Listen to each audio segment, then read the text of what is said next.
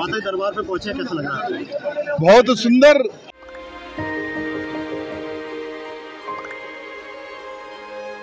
मिलके हम पंजाब को रंगला पंजाब बनाएंगे और बिजली के मामले में पंजाब को सरप्लस बनाएंगे 24 ਘੰਟੇ ਬਿਜਲੀ ਰਹਿੰਦੀ ਹੈ ਜੀ ਕੋਈ ਦਿੱਕਤ ਨਹੀਂ ਬਿਜਲੀ ਦੀ ਸਾਨੂੰ ਜਾਂ ਗਰੀਬਾਂ ਦਾ ਜਿਉਣ ਦਾ ਸਤਰ ਜਿਹੜਾ ਜੀਵਨ ਉੱਚਾ ਪੱਧਰ ਦਾ ਕਿਵੇਂ ਚੱਕ ਸਕਦੇ ਹਾਂ ਇਹ ਸਾਡੀਆਂ ਪ੍ਰਾਇੋਰਟੀਆਂ ਨੇ ਮੇਰੇ ਤੇ ਯਕੀਨ ਤੁਸੀਂ ਕੀਤਾ ਤਾਂ ਯਕੀਨ ਰੱਖਿਓ ਮੈਂ ਤੁਹਾਡਾ ਯਕੀਨ ਕਦੇ ਟੁੱਟਣ ਨਹੀਂ ਦਊਂਗਾ मैया जी के दर्शन हुए हैं बमलेश्वर माता जी के दर्शन हुए और हमारे चेयरमैन जी हमारे साथ हैं अग्रवाल जी। और पहाड़ पे भी माता जी का जो दर्शन करवाए हैं और नीचे भी जो इतना भव्य मंदिर बना है उसके भी दर्शन कराए। मैं इसके लिए ट्रस्ट के सभी अधिकारीगणों को हृदय से धन्यवाद प्रकट करता हूँ। हिंदू राष्ट्र। देखिए भारत को हिंदू राष्ट्र बनते हुए कोई नहीं रोक सकता। क्योंकि जब 50 से अधिक इस्लामिक देश हो सकते हैं तो भारत में 100 करोड़ हिंदू रहता है तो भारत हिंदू देश क्यों घोषित ना हो? ये सिर्फ़ एक राजा सिंह की आवाज़ नहीं, ये भागेश्वर धाम के धीरेन्द्र शास्त्री जी महाराज की आवाज़ नहीं, ये हर वो हिंदू की डिमांड है कि भारत देश एक हिंदू राष्ट्र घोषित हो।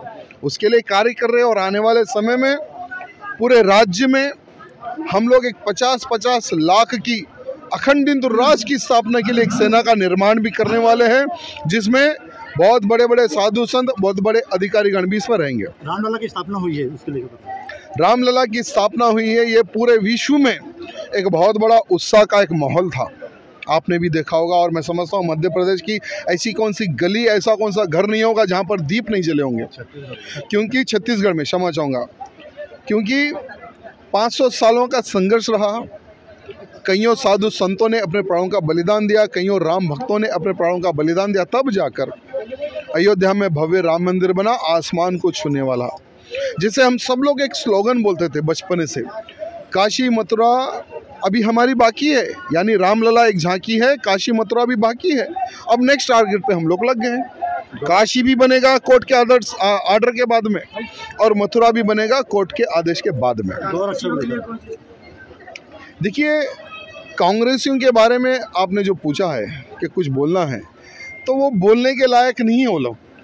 क्योंकि कांग्रेसी भारत देश के लिए एक डेंगू है एक कैंसर है। और ये डेंगू को भी खत्म करने की ज़रूरत है ये कैंसर को भी खत्म करने की ज़रूरत है।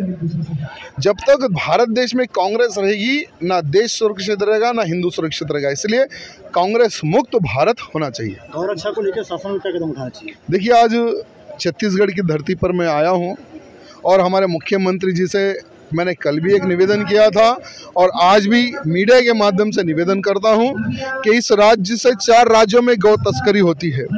अगर हमारे छत्तीसगढ़ में देसी गाय नहीं रहेगी तो हमारे छत्तीसगढ़ के जो गौ भक्त है, वो गौ माता की रक्षा कहाँ से करेंगे? गौ माँ की सेवा और दर्शन कहाँ से करेंगे?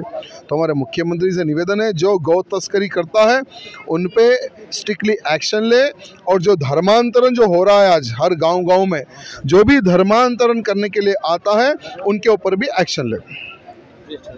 लिए डोंगरगढ़ का तमाम हिंदू संगठन, चाहे विश्व हिंदू परिषद हो, बजरंग दल हो, तमाम हिंदू संगठन जो है यहाँ पर सक्रिय रूप से उनके स्वागत के लिए खड़ा हुआ है। वो हिंदू हृदय सम्राट हैं। हिंदुत्व की विचारधारा को लेकर और अपने सर में कफन बांधकर इस देश में निकले हैं।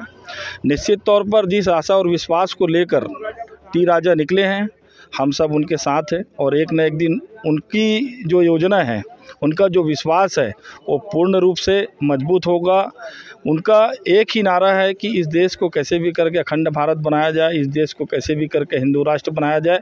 हम उनके इस विश्वास को मज़बूत करने का काम डोंगरगढ़ के हिंदू संगठन के लोग कर रहे हैं।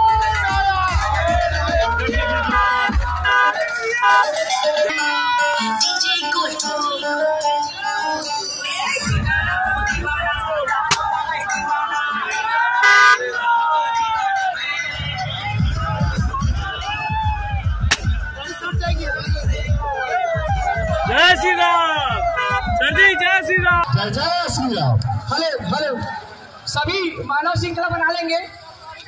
सबके साथ फ़ोटो ली जाएगी। ना करें। डीजे वाले थोड़ा पीछे वाले भाई डीजे सभी मानव श्रृंखला बना लेंगे भैया। पीछे वाले भाई।